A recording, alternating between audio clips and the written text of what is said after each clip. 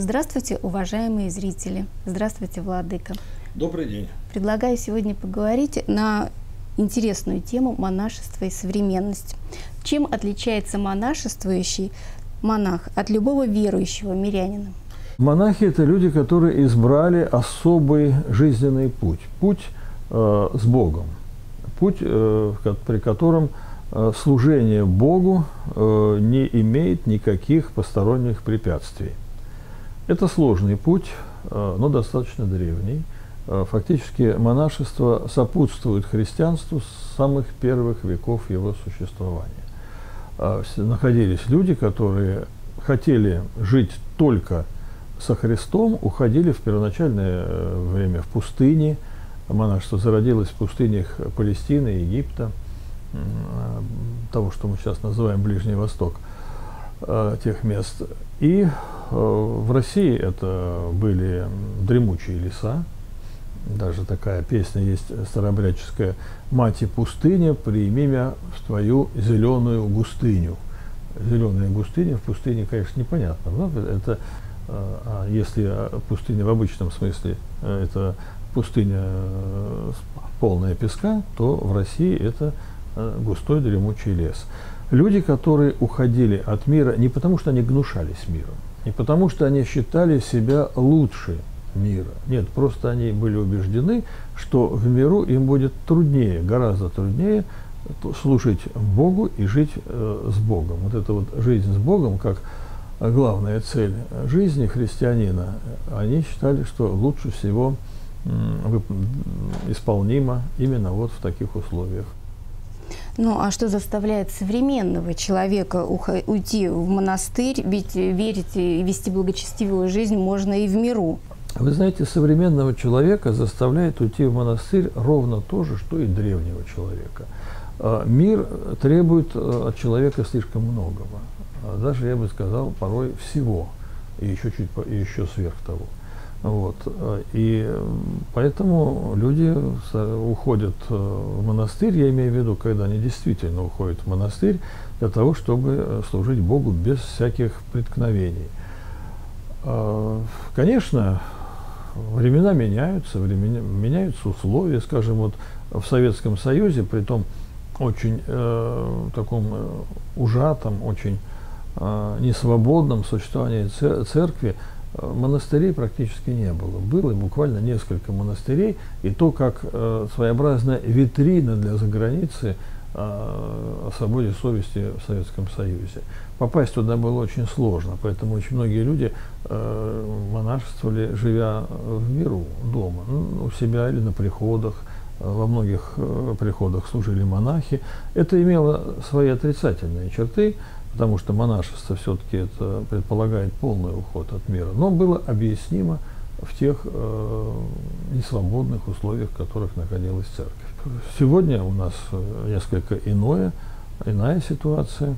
Вы знаете, что в России за последние 30 лет с небольшим э, практически э, восстановилась монашеская жизнь. Ну, есть, наверное, во всех обителях, которые были до революции.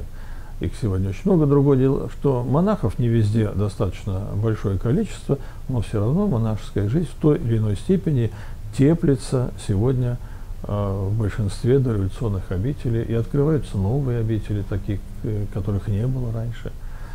Это добрая а, тенденция, потому что это свидетельство того, что а, в русской церкви все же остаются люди, которые вот, некие идеальные представления о жизни со Христом сохраняют и стремятся им следовать. Владыка, а вот э, сегодня в Симбирской метрополии много ли монастырей? К сожалению, в Симбирской метрополии монастырей немного. Я не хотел бы подробно останавливаться на причинах, почему так произошло. Вот э, один мужской монастырь Жадовский есть и э, два женских монастыря. Вот. В нашей Симбирской епархии, теперь поскольку Жадовская, э, Жадовский монастырь находится в Барышской епархии, в нашей Симбирской епархии сейчас мужского монастыря нет – и это, так сказать, моя забота и мысли о том, чтобы он э, у нас появился.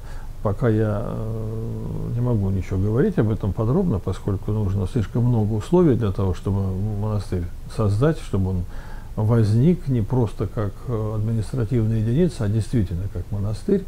Вот. Ну, посмотрим, как пойдет, как Бог благословит, тогда, может быть, что-то будет. Вот. Э, Наверное, э, вот у нас откроется еще один женский монастырь, помимо э, Комаровского монастыря и Спасского монастыря, откроется, наверное, в Ляховке. Там уже несколько лет трудится такая вот хорошая женская община, и они, э, скорее всего, она будет преобразована в женский монастырь. Это Майнский район вроде, да? Да, это Майнский угу, район, угу, да.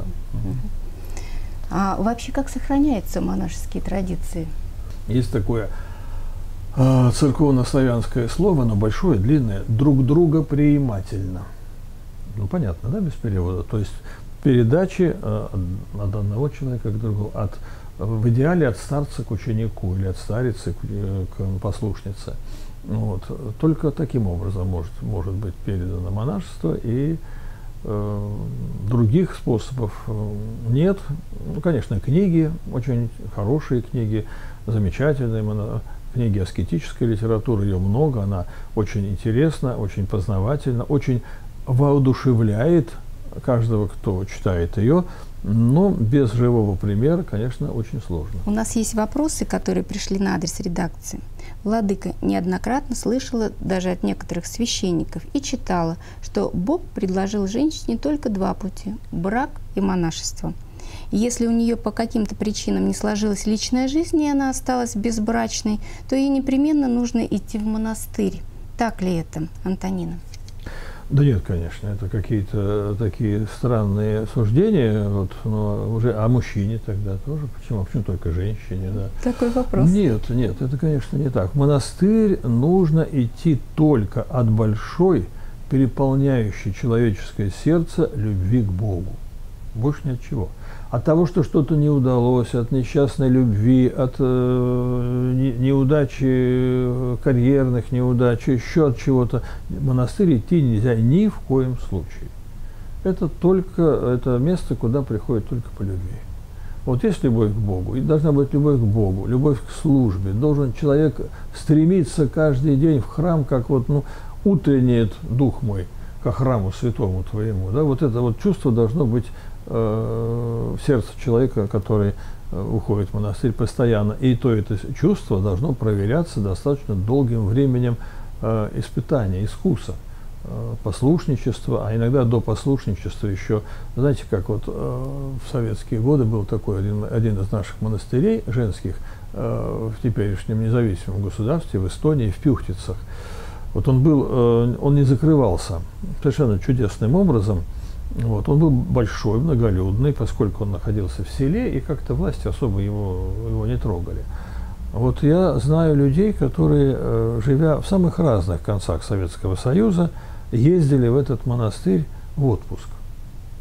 Вот работает человек, неважно кем, учительница в школе или даже, может быть, какой-нибудь научный работник, да, э, или просто технический персонал, ну, неважно кто.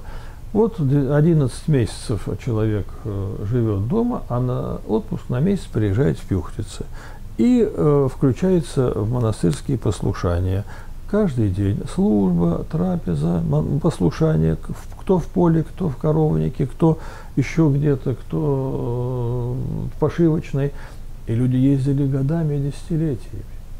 Вот. Это было вот мне кажется, наиболее близко к естественному ходу дел. Вот именно так вот постепенно человек должен испытывать свое желание монашества таким вот очень долгим искусом. Поэтому иначе вот так просто прийти и сказать, я хочу быть монахиней или хочу быть монахом, постерегите меня. Потом человек его стерегут, потом он э, просыпается утром и говорит, что я здесь делаю? И, и убегает из монастыря. Таких примеров в наше время уже много достаточно. К сожалению, наше бурное возрождение последних лет, помимо добрых плодов, принесло еще и целый ряд каких-то искушений, нестроений вот такого рода. Может ли несовершеннолетний человек стать монахом, если его родители против этого, хотя они еще не старые, а в старости за ними будет кому присмотреть? Это спрашивает Илья. А, нет, несовершеннолетнему человеку монахом стать нельзя, независимо от желания или нежелания родителей. Сначала нужно стать взрослым, совершеннолетним, а потом уже идти в монастырь. И еще вопрос от Владимира. Владыка, некоторые современные монахи занимаются общественной деятельностью, создают спортивные клубы и сами тренируют подростков. Но должен ли этим заниматься именно монах? Ведь монашество – это отшельничество, уход из мира. Где границы? Что можно делать постриженному в монахи, а что нельзя? Каково ваше мнение? Строго говоря, нельзя. Здесь э, формально э, задавший вопрос Владимир прав. Но, э, как говорится в старой поговорке, нужды ради и закону применения бывает. Поскольку многие монахи сегодня не отшельники, а Э, служат и живут в городских э, в городах, служат в обычных храмах, и бывают в них настоятелями, то поэтому возможно и какие-то, естественно, формы работы с людьми, в том числе с молодежью, в том числе устройство спортивных клубов и прочее. Наверное, тренировать самому – это уже излишне. Да, это не, это, этого делать не надо даже в эти, даже в таких условиях, в которых мы сегодня находимся. Но организовывать эту работу и вести ее, я думаю, это вполне нормально, поскольку это приход, норм, такая вот нормальная приходская деятельность. И если приход возглавляет монашествующий, ну что ж, значит, ему приходится заниматься и этим в том числе. Спасибо, Владыка. До свидания. Пожалуйста. До свидания, уважаемые зрители.